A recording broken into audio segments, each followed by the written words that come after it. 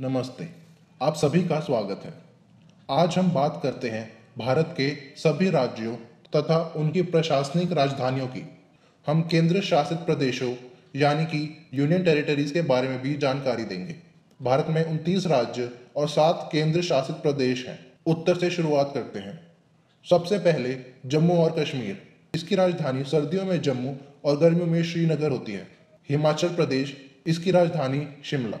पंजाब इसकी राजधानी चंडीगढ़, उत्तराखंड की देहरादून, हरियाणा। इसकी राजधानी चंडीगढ़, राजस्थान की जयपुर, उत्तर प्रदेश की लखनऊ, बिहार की पटना।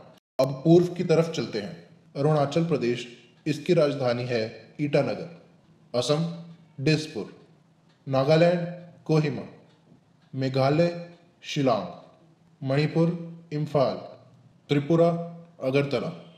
मिजोरम आइजोल, सिक्किम गंगटोक पश्चिम बंगाल, कोलकाता, गुजरात, गांधीनगर, मध्य प्रदेश, भोपाल, छत्तीसगढ़, रायपुर, झारखंड, रांची, महाराष्ट्र, मुंबई, उड़ीसा, भुवनेश्वर, गोवा, पणजी, कर्नाटक, बंगलौर, तेलंगाना की है हैदराबाद, आंध्र प्रदेश, अमरावती, केरल की है त्रिवेंद्रम।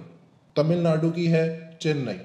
अब हम बात करते हैं सारे केंद्र शासित प्रदेशों और उनके प्रशासनिक राजधानियों की। लक्षद्वीप, कवरती, अंडमान और निकोबार द्वीप समूह। इसकी राजधानी पोर्ट ब्लेयर है। चंडीगढ़ चंडीगढ़। दिल्ली, नई दिल्ली। दमन और दीव, दमन। दादर और नागर हवेली, सिलवासा। पौंडीचेरी पौंडीचेरी। लाल बटन को दबाकर हमारे चैनल की सदस्यता लें। धन्यवाद।